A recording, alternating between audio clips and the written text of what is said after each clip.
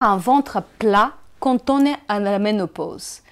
Est-ce possible de contrôler euh, notre ventre pour qu'il ne cumule pas des graisses quand on est à la ménopause, quand on dépasse les 50 ans?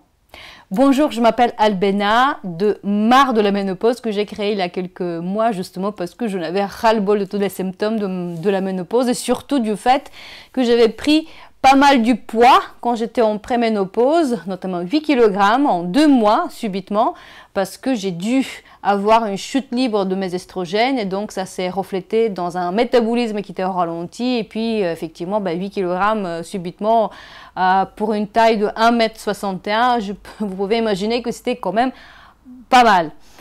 Alors, effectivement, à la ménopause, euh, il y a beaucoup, beaucoup de femmes qui prennent euh, du poids, entre 4 et 10 kg en moyenne. Euh, ce, qui est, ce qui est intéressant, entre guillemets, à la ménopause, c'est que ces kilogrammes se stockent maintenant différemment, plus maintenant sur les hanches, sur les fesses, mais plus sur le ventre surtout, la poitrine et puis aussi sur les bras. Donc ça, c'est vraiment très spécifique à la ménopause. Il faut savoir que notre corps est très bien fait, c'est-à-dire que lui, euh, du fait qu'il a cette chute d'estrogène, euh, vous savez, l'hormone féminine qui est produite par les ovaires et qui effectivement euh, n'est plus produit à partir, ou beaucoup moins à partir d'un certain âge, avec le vieillissement naturel du corps, le, corps, après, il fait en sorte que il y a quand même de, des, estrogènes dans, notre corps euh, qui sont dans la graisse. C'est pour cela qu'on va apparaître, par exemple, moi je commence à voir ici sur les bras, je ne vous le montre pas parce que je suis vraiment pas fière de ça, euh, quelque chose que j'avais absolument pas il y a quelques années. Quand je fais comme ça, je vois que j'ai de la graisse sur les bras. Vraiment, quelque chose, vous savez, la peau, quand on la pince comme ça, on peut voir cette espèce de peau d'orange. Donc ça, c'est les cellules euh, graisseuse effectivement qui dans cet aspect un peu voilà esthétiquement pas terrible. Euh, même chose sur le ventre, on peut voir qu'on a la graisse, même chose, euh, enfin la poitrine qui augmente, euh, je ne sais pas votre cas, mais moi j'ai eu une poitrine qui, qui, a beaucoup beaucoup augmenté à la ménopause, mais vraiment vraiment beaucoup. De B, j'y suis passée à E, pour vous dire. Donc, euh, c'était vraiment un très grand changement pour moi. Mais ça, c'est vraiment quelque chose que le corps fait. Il le fait de façon naturelle pour nous protéger, parce que justement, dans les cellules graisseuses, il y a des estrogènes. Voilà, donc ça, c'est, il faut le savoir, c'est, euh, une sorte de autodéfense de l'organisme. Mais maintenant, ce qui se passe, c'est que souvent, on aura un ventre qu'on n'aime pas trop et effectivement, il y a euh, des manières à contrôler que ce, ce gras-là n'augmente pas. Même on peut le diminuer un petit peu. Euh, et euh, ça, c'est de ça que je vais vous parler tout de suite. Ce qui se passe, c'est que si nous voulons effectivement avoir certains changements dans notre corps, c'est notre ami, le corps, hein, il faut le savoir. S'il lui demande certaines choses, nous devons savoir qu'est-ce que nous devons lui donner pour faire en sorte qu'effectivement, on arrive au résultat qu'on veut. Par exemple, si on veut diminuer la graisse qui se cumule euh, dans le ventre, surtout maintenant, effectivement, il faut faire en sorte, il faut faire deux choses. D'abord, surveiller les nutriments qu'on met dans le corps. Hein. Vous me direz, c'est tout à fait logique, c'est du bon sens, tout à fait.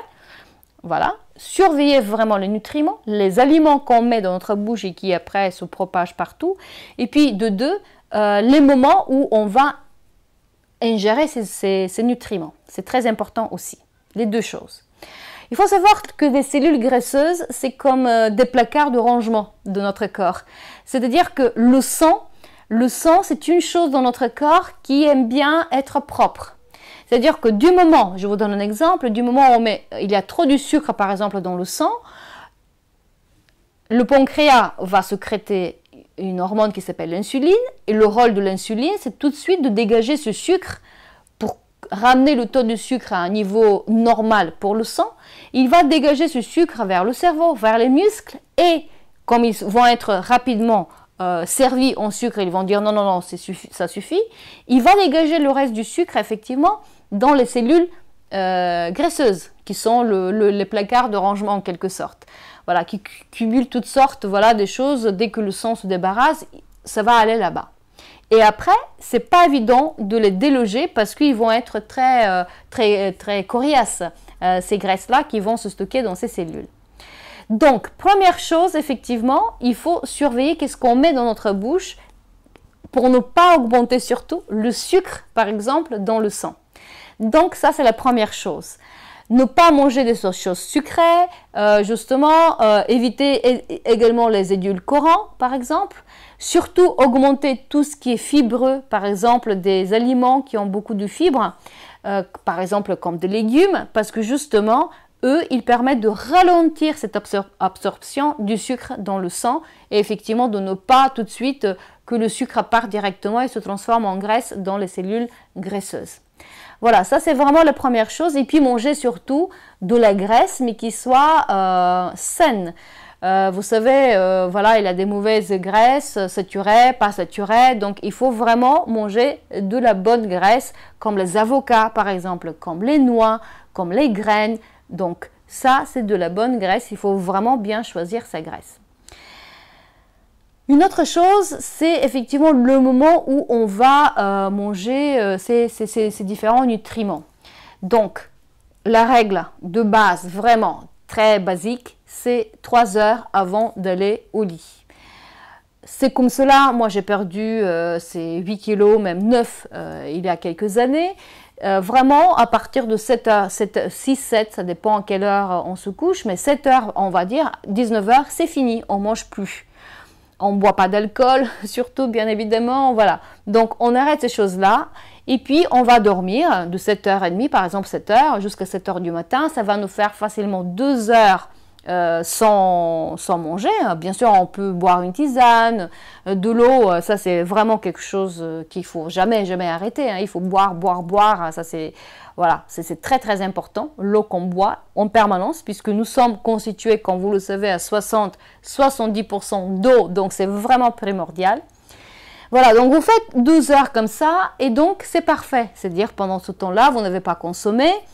Euh, vous n'avez pas faim parce que vous allez dormir, voilà, donc euh, vous avez quand même mangé correctement jusqu'à 7 heures du soir. Et à ce moment-là, qu'est-ce qui va se passer? Comme effectivement le corps a besoin de l'énergie en permanence pour fonctionner, le cerveau, les muscles, enfin tout, le métabolisme, le corps est en, mouvement permanent, hein, vous le savez. Donc là, à ce moment-là, effectivement, on va utiliser l'énergie qui va euh, être fourni par les graisses, par les cellules graisseuses. Donc, ils vont diminuer dans ce cas-là. Et même souvent, on dit que le matin, par exemple, ça c'est vraiment le moment le plus propice pour faire des exercices. Si vous pouvez faire un jogging, si vous n'avez pas absolument une faim de loup et vous voulez pas tout de suite prendre votre petit déjeuner, si vous pouvez euh, euh, aller à la piscine nager tôt le matin ou faire un jogging courir, ça c'est vraiment encore top. Pourquoi? Parce que ce moment-là, vous allez encore effectivement euh, dépenser de l'énergie et l'énergie vous allez la prendre dans ce cas-là des cellules graisseuses et ça va diminuer effectivement les cellules graisseuses. Et une autre chose que je recommande toujours et c'est comme cela, moi j'ai perdu des kilogrammes et c'est comme cela je maintiens euh, mon, mon, poids maintenant, c'est le jeûne intermittent, c'est-à-dire aller au-delà de ces 12 heures, aller jusqu'à 16 heures, c'est-à-dire que personnellement, je ne prends pas de petit déjeuner, mais votre premier repas, ça va être votre déjeuner, tout simplement. Et là, c'est top. Moi, grâce à ça, franchement, pour vous dire, la vérité, c'est que euh, j'avais, euh, je, vais commencer à avoir un, ventre, effectivement, à la ménopause, quand j'ai pris les kilogrammes. Et quand j'ai commencé effectivement d'appliquer le jeûne intermittent, euh, ne pas manger le soir, euh, voilà, faire un peu des exercices quand même à jeun, je, faisais pas mal ça aussi.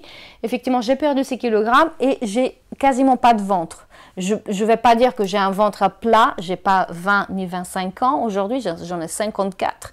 Euh, j'ai un tout petit truc comme ça si je pince mon ventre, mais c'est vraiment rien, rien à voir avec ce que j'ai eu il y a quelques années. Voilà en gros. Et une autre chose euh, qui est très intéressante à savoir aussi, je pense, par rapport à ce ventre plat, par rapport à la graisse qu'on cumule sur notre, enfin la graisse qu'on a sur le corps et qui, apparente surtout euh, chez les femmes, même les hommes d'ailleurs à l'andropause. Regardez votre Jules, vous allez voir que lui aussi il commence à avoir la graisse apparente parce que c'est pareil, son corps se défend. Comme lui aussi il a la test testostérone qui est en chute libre. Euh, bon, voilà, lui aussi, il est en pleine euh, ébullition hormonale. Lui aussi, il peut avoir euh, la cellulite, enfin, je veux dire, des graisses, de, des cellules graisseuses qui sont apparentes sur la peau. Et lui, il change aussi sa, sa, sa corpulence. Enfin, il n'a plus le même corps. Il va perdre des muscles. Il peut avoir même un peu la poitrine. voilà, des choses comme ça. Donc, c'est assez drôle à observer.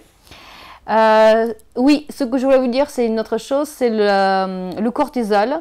On n'en parle pas, mais il est très lié aussi au métabolisme des lipides, euh, effectivement à cette régulation de la glycémie, du taux du sucre dans, le, sang.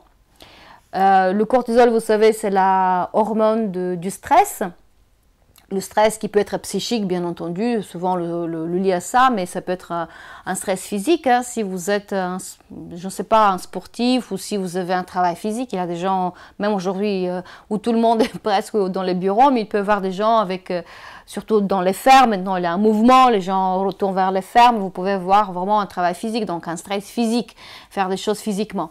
Donc, euh, le cortisol, le truc avec le cortisol, c'est qu'il ne faut pas qu'il y ait trop peu ni trop. Voilà. Il faut avoir un bon taux de cortisol, c'est-à-dire il faut vraiment savoir gérer son stress.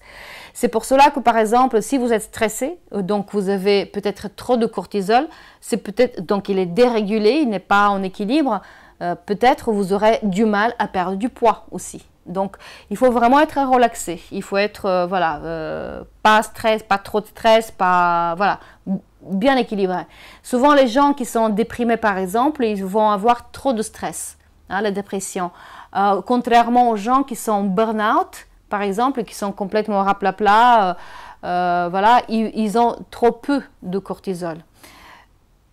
Donc, voilà, si vous voulez vraiment prendre un peu le contrôle euh, sur euh, la façon dont votre euh, métabolisme se passe dans le corps et la façon dont, voilà, moi je parle de ventre plat parce que c'est vraiment une préoccupation des femmes. Je, je n'ai plein, plein de copines qui ont mon âge et qui me disent Oui, mais bon, qu'est-ce qui se passe? Mon ventre n'est plus pareil et j'ai rien à faire. Effectivement, une des choses à faire, c'est vraiment bien contrôler ses nutriments et le moment où on, mange.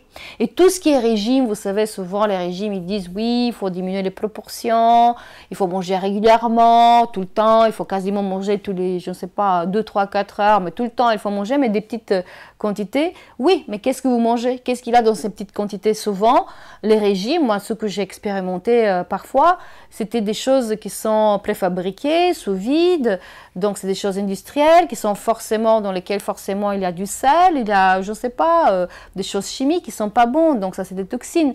Donc honnêtement, le plus simple à un nutriment, le mieux c'est. Donc ça c'est vraiment les légumes surtout. Il peut y avoir des fruits, dans les fruits là, le sucre est naturel.